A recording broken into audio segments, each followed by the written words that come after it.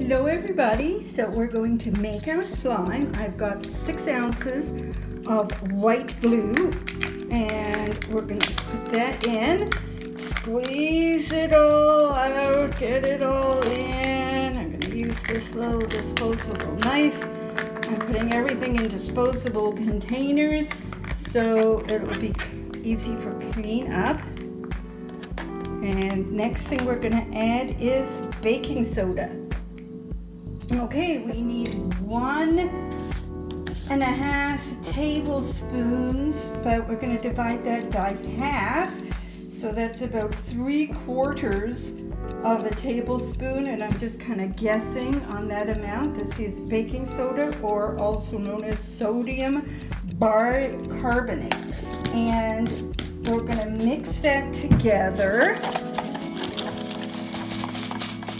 mix all of that baking soda into the glue. And then we're going to add a little bit of paint.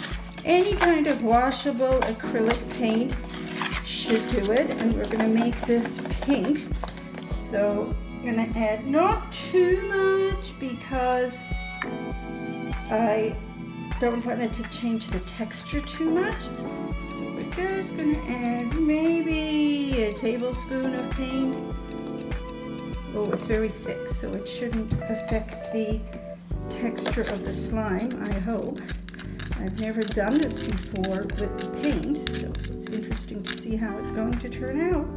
So I'm just going to keep mixing until the pink is all blended in, although I kind of like the marbleized look that we're getting here. So maybe I won't worry about mixing it too thoroughly.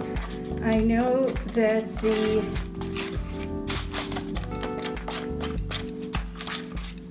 the uh, once it's mixed you can add more. Okay, now we're going to add sprinkles. Okay, what I'm using for sprinkles are you can use beads or glitter. I've got these cute little stars and I just think it's going to make it really cool. This one there that's not cut properly, we'll leave that one out. But I think it's going to be really cool for the Barbies to play with. So we're just going to mix that in. It's not a lot. I think I'm going to add a bit more because it's really not showing up all that well. So, whoa, there's a lot of uncut pieces in here. It looks like teeny weeny licorice. Oh, that gives me an idea. These would make really cool Twizzlers for Barbie to eat. So I'm just gonna pick out all these long hard bits and save them for Barbie to play with. Stir in the rest of it.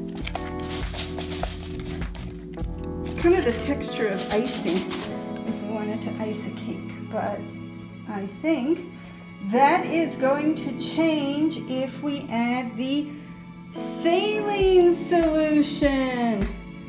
Contact lens saline solution and we need two tablespoons of that. So we're just going to clean out this measuring spoon, scrape off all the slime mixture that's not slime yet, and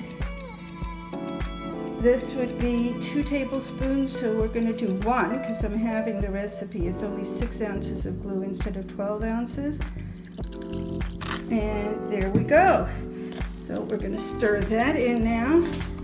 Oh, and it's definitely, oh, look at that. The saline solution makes a huge difference. It's now starting to take on the texture of slime. Well, I know kids love slime. Grown-ups not so much, but I am going to have to touch it with my hands.